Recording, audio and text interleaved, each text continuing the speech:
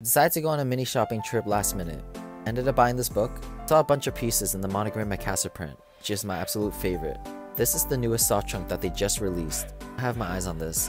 But I also wanted to try on these sneakers. I've been wanting to buy a pair for the longest.